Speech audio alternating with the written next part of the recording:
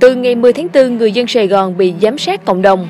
Tại buổi họp trực tuyến Ban chỉ đạo phòng chống Covid-19 chiều ngày 9 tháng 4, Giám đốc Sở Y tế Thành phố Hồ Chí Minh Nguyễn Tấn Bỉnh cho biết, bắt đầu từ ngày 10 tháng 4, thành phố sẽ triển khai giám sát trong cộng đồng thông qua khai báo y tế và xét nghiệm tầm soát mở rộng bằng test nhanh. Theo ông Bỉnh, hiện tất cả các ổ dịch đều được hoàn tất khoanh vùng, đã kết thúc thời gian theo dõi và không phát hiện thêm trường hợp nào. Sau 6 ngày không có ca nhiễm mới, người dân thành phố Hồ Chí Minh ở một số nơi đang có tâm lý lơ là, các tuyến đường chợ dân sinh bắt đầu đông người. Thời gian tới, thành phố tiếp tục rà soát xét nghiệm 913 trường hợp nhập cảnh từ ngày 8 tháng 3, cách ly 600 người đến ngày 14 tháng 4. Bên cạnh đó, thành phố tiếp tục giám sát hoạt động tại các doanh nghiệp, khu công nghiệp, khu chế xuất, đặc biệt tại quận Bình Tân, có 72.000 công nhân, mức độ rủi ro lây nhiễm lên tới 91%.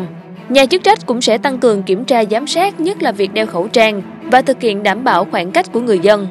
Đồng thời tiếp tục duy trì hoạt động 62 chốt kiểm dịch, kiểm tra phòng chống lây nhiễm ở các cơ sở y tế, sắp xếp lại các khu cách ly để chuẩn bị sẵn sàng trong tình hình mới. Từ ngày 10 tháng 4, chúng ta sẽ triển khai giám sát trong cộng đồng thông qua khai báo y tế và xét nghiệm tầm soát mở rộng bằng test nhanh, tức là test kháng thể. Sẽ xét nghiệm xác định những trường hợp nào dương tính bằng RT-PCR. Tại các khu ký túc xá công nhân, các cơ sở sản xuất tập trung nhiều lao động, các khu vực cộng đồng dân cư và các đối tượng có nguy cơ cao, ông Bỉnh cho biết. Hiện thành phố Hồ Chí Minh có 54 ca nhiễm nCoV, 37 người khỏi bệnh, khoảng 600 người theo dõi sức khỏe ở các khu vực cách ly tập trung. Chính phủ ban hành nghị quyết hỗ trợ trực tiếp cho người dân gặp khó khăn do Covid-19. Người lao động làm việc theo chế độ hợp đồng lao động phải thỏa thuận tạm hoãn thực hiện hợp đồng lao động, nghỉ việc không hưởng lương từ một tháng trở lên do các doanh nghiệp gặp khó khăn bởi đại dịch Covid-19, không có doanh thu hoặc không có nguồn tài chính để trả lương thì được hỗ trợ với mức 1,8 triệu đồng một người trên một tháng. Thời gian hỗ trợ theo thời gian thực tế tạm hoãn thực hiện hợp đồng lao động, nghỉ việc không lương, theo hàng tháng tùy theo tình hình thực tế của diễn biến dịch, tính từ ngày 1 tháng 4 năm 2020 và không quá 3 tháng.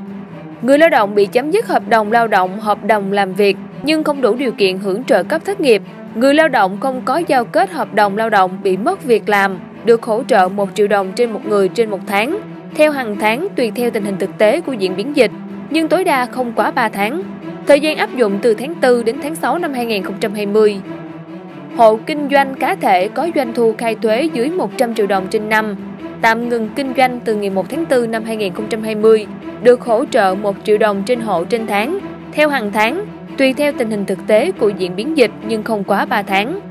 Hộ nghèo, hộ cận nghèo theo chuẩn nghèo quốc gia trong danh sách đến ngày 31 tháng 12 năm 2019 được hỗ trợ 250.000 đồng trên khẩu trên tháng. Thời gian áp dụng là 3 tháng từ tháng 4 đến tháng 6 năm 2020 và được chi trả một lần.